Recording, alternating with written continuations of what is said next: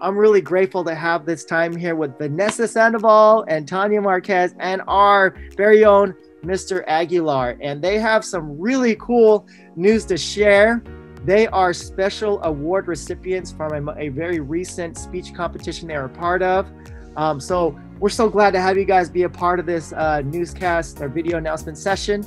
Um, at this time, I'm to ask Mr. Aguilar share a little bit about everything that worked up to you guys going into the competition and what he did to prepare you guys and what you guys did. So I'm looking forward right. to this. Great. Yeah, we're in the middle of our, our academic decathlon season where uh, the kids are doing 10 different um, tests or uh, categories speech and interview and essay, and I could just go on and on. There's 10 of them. And what the decathlon um, people at the district decided to do this year is to open up another competition just for speech. That's besides the, the 10 uh, categories. So um, this speech was going to be done, of course, on Zoom. Um, and it's going to be, and the kids had to tape themselves. And so there was obviously things that they had to do to do that. Every school was invited. Um, right now we have about 55 schools who are involved in academic decathlon. And so every school was invited. Not every school participated, but they, um, and we have three categories, honors, scholastic, and varsity. Of course, all our students are, and if you've ever talked to my students, you know that these are very, probably the, some of the most intelligent people you'll meet. and and um, very lucky to have them. Believe me. Um, this year we have an all-female cast, and they're all great. Um, all nine of well, this year we have eight. Uh, and so Vanessa's in the honors, and um, Tanya's in the varsity. And I'm not gonna lie to you, they're two of our best speakers. So I was so happy that they volunteered to be part of it. Not everyone did because it's kind of scary to do. They're working on their other speech, which happens to be. We found out that we, they could use the same speech, but at first we didn't know that. And so other students are working um, on their other categories. So these two say, hey, we're open to do this new speech competition. So they entered it. And let me tell you, they worked hard to, to put it together. I actually didn't get to see Tanya's finish one until towards the end. And then when I watched, I go, oh, I get why she won a medal, right?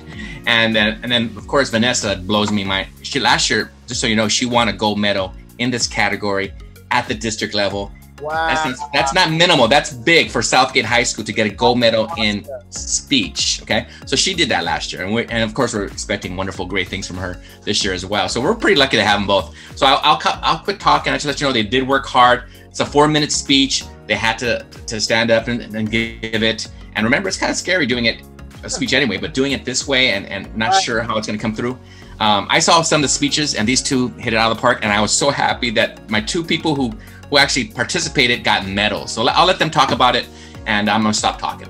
oh man, that's exciting! You're like, I'm all super energized about this now. All right, so Vanessa, tell us specifically what award you received and how do you feel?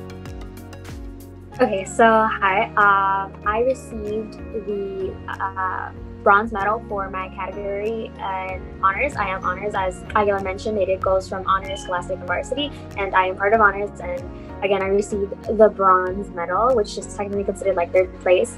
Um, obviously, like I, I don't know when I found out, I was like, oh really? You know, obviously when you find like good news, you're kind of always like speechless. Um, so yeah, it was me. I was speechless at first. I was kind of like, yay. Um, but now I just kind of feel, you know, glad that I did try because oftentimes a lot of people don't want to um, at least put an effort or at least take a chance with these things. Like, um, and I think it, I, a lot of people I regret like not having taken this chance. So I, I am I'm, I'm glad that you know I was kind of nervous of actually like turning something in, you know, in fear that I wasn't gonna get anything. Um, but yeah, I'm just really glad that I, I worked really hard in my speech. I was proud of my speech, and I'm glad that I was able to not only like uh, spread the message that I had in my speech to like other people, but also I got recognition for uh, something that I I really loved writing and um, sing out loud. Awesome! Oh, that is so cool! Congratulations to you! Oh, that's so Thank cool. You. Tanya, tell us a little bit about the award you you received. So I got the silver medal for my category varsity, which is second place. And as Vanessa mentioned, there are three categories. It is goes from honors, then to scholastic, then to varsity. So um, when I first heard that I won this award, I couldn't believe it. I literally needed to see the documentation. I thought that it was wrong. I didn't think that I would have received an award. I never believe in myself. I'm going to be very honest. I have really low self esteem. And I just entered the contest on a whim because so much had happened to me um, this past year and i just needed a change and i thought you know what i'm going to write this essay and i'm going to submit it to this competition because um, why not? And when I heard that I received it, I just felt so proud of myself because um, I kind of just wrote this essay for some. I mean, I wrote the speech for someone, and um, it just hits home because this message. Um, I just thought that it could help so many people going through these times, especially people who have like lost someone and are just feeling this kind of emptiness. And I just want to give them the message that um, despite feeling all these emotions, it's okay, and that even though you think you can't do something, just give it a try because you never know what might happen. Oh my. I should. I can I just share something real quick? Yeah, go um, ahead. You know, these topics were very personal to both of them. They were personal, having to do with their lives and things that they experienced. So I'm, I'm glad they went there. They didn't have to go there, but they did. And, and they also were money prizes too. So Vanessa got 100 bucks, Tanya got 150 dollars. And remember, this is not just like a few people in the area. This is the whole district was invited. Several schools participated. We beat we beat some of the big boys here, and so to get a bronze and a silver, uh, and they only give out three medals for each category, it's a big deal. So we're proud of them. And I could tell um, from both of you that that you you you gave your heart to this, and it, it hit some certain levels of your emotions and and, and your heart. So um, that that is Wow, that is so admirable. And we are oh so proud of you. And we applaud you for putting yourself out there and taking risks and just going for it. Like you said, why not? You know, and um, that's those are things that we as human beings, whether you're a student at South Gate or you're a faculty member, we as human beings um, need to hear that from others and need to um, be inspired by others. And so I am hands down inspired by you both.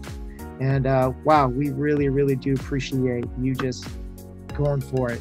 Despite everything happening, you guys doing what you guys did, it makes us so, so very proud. So thank you so much for sharing the good news with us.